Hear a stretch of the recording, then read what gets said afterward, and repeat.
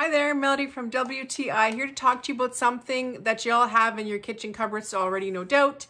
But here's another one I'd like to talk to you about, and that is the water bottles. This is one is from Brimma, and I'd like to tell you why this one is a little bit different than the one you probably got stashed away in your cupboard. Uh, so first of all, this one holds 32 ounces of water. It's made of a very nice durable plastic.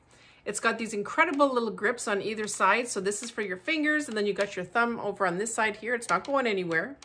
Uh, perfect for hiking or exercise or whatever. Uh, very versatile.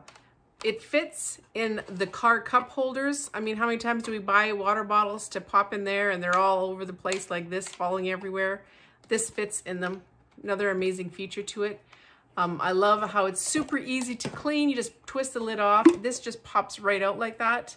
So you can wash it like this by your hand or you can put it in the dishwasher. It is dishwasher safe. So many really cool features about it. Again, if you're walking, going on a walk, it's got this little loop here for you to hang on your belt. Um, and check this easy pop top. I love it. Super easy, one finger. And it's leak proof. So, so many really, really cool things about this. If you're looking at getting a new one that's going to fit into your car, whole car cup holder, I suggest this one. I'm very happy with it, and I know you will be too. And that's my point of view.